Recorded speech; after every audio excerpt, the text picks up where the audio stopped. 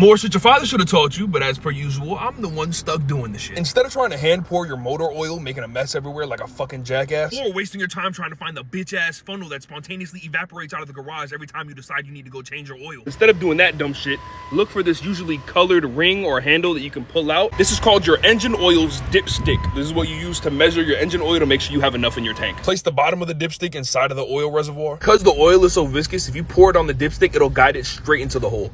Or what I usually do is just grab one of the old empty oil bottles. You always want to try to keep one around. They're good to have. Cut the bottom off. Oh, fuck my life. The tops of the oil bottles are usually perfectly threaded to be able to screw into your oil reservoir. God fucking damn, what the fuck is happening right now? So loud. Now that the bottle is screwed in, you use it as a funnel and you pour the oil directly into it. Nice and easy. Or you can skip all that shit and just turn the bottle around like it says on the fucking directions to get a nice smooth pour like this.